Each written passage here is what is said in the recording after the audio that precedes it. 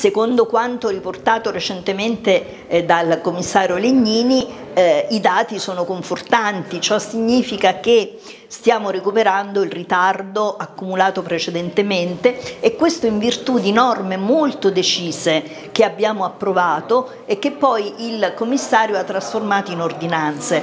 Voglio ricordare la norma eh, capo, capofila delle semplificazioni che fu la norma eh, inserita nel decreto sisma a fine 2019 e con l'autocertificazione che ha ridotto enormemente il carico sugli uffici. Da lì è iniziato un percorso importante che poi ha prodotto delle ordinanze efficaci. È evidente che la mole eh, da eh, di interventi da ricostruire sono tantissimi e che quindi questa accelerazione ormai misurabile con i dati, ancora non si vede in termini materiali. Accanto alla ricostruzione materiale noi stiamo lavorando anche sulla ricostruzione eh, sociale, economica e il CIS di cui oggi parliamo è uno strumento potente eh, di 160 milioni ottenuti grazie a un emendamento da me sottoscritto, emendamento del Partito Democratico sostenuto dall'allora ministro Provenzano che ehm,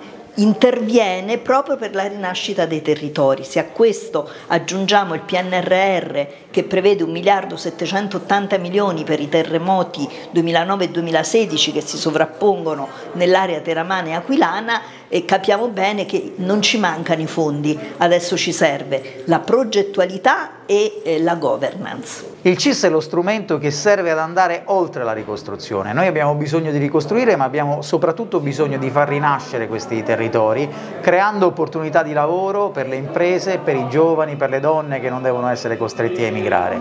Il CIS serve a questo, a realizzare progetti di investimento con i comuni, con le amministrazioni locali che devono essere supportate in questo lavoro. Noi siamo qui a Teramo dove il sindaco si è dato un grande affare per eh, proporre progetti di sviluppo.